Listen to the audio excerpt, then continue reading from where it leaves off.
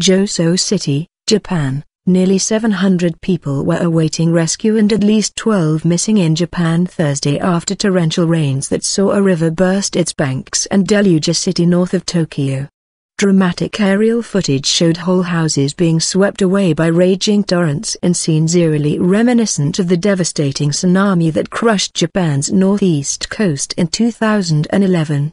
Television images from Joso, a small city of 65,000, showed desperate residents waving towels as they stood on balconies trying to summon help after the levee on the Kinugawa River gave way, flooding an area that reports said spanned 32 square kilometers, 12 square miles, and included 6,500 homes.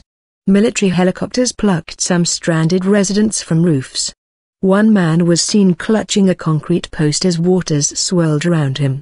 An estimated 690 people were still awaiting rescue as of 11 p.m., 1400 GMT, the National Police Agency said, according to Kyodo and Jiji Press news agencies, 10 hours after the levee burst.